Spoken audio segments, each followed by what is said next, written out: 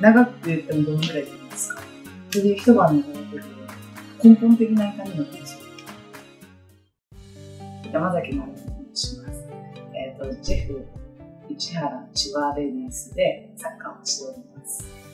ポジションはミッドフィルダー、フォア、フォなってます。ちなみにあのサッカー歴何年ぐらい？7歳からやってるんで、23年目 ?23 年目になります。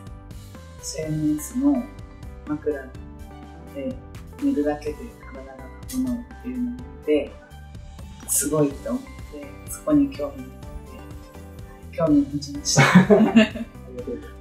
もともと寝るときにうつ伏せとか横向きで寝ることが多くてしかも口呼吸で、まあ、あんまり良くないんだろうなっては思っていたので、まあ、寝るだけで変わったらすごいなとは思ってました骨盤が歪んでる出たりその影響で姿勢があんまりなくて、証明写真とかで別に右肩もちょっと出てるああの、こうなっちゃって、姿勢がい。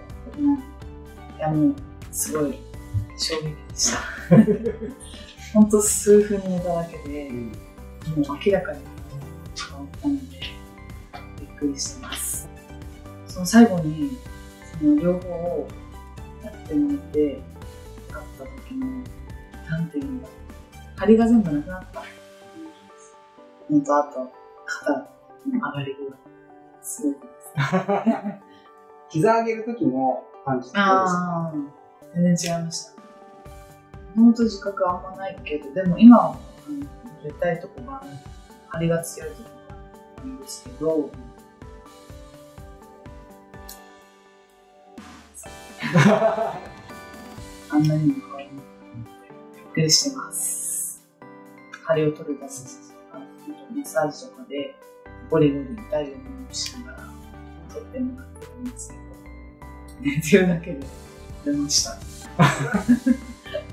いや、これ本当に、今、長く言ってもどのぐらいじゃないですか。それで一晩のだけで、もう根本的な痛みの解消。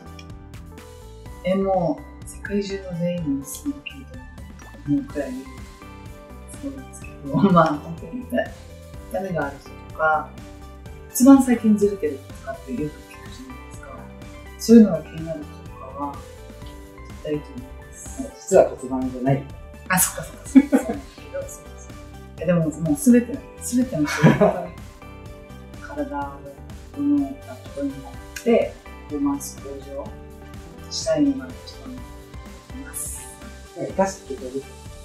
全然違うと思います。多分今、すごい体がだいぶだな上で、まあ、筋トレだったり、いろいろやってるんですけど、体が整った上でそれやったら、効果が全然違うんだろうなって妄想してます。